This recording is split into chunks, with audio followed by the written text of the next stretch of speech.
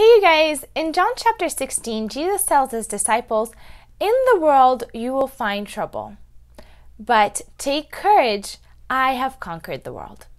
Here, you guys, is our saving grace. In the world we will find trouble. That's inevitable. There, there's going to be hardships, there's going to be problems, all kinds of things that deter us from the world and that aim to scare us in this world. But take courage. Courage doesn't mean you're not afraid, it just means you will stand up to those fears. Take courage. I have conquered the world. He's already won, He's already done this. And so, regardless of that problem that you're facing, know that you will be victorious because it's already been taken care of. And that's something to keep in mind.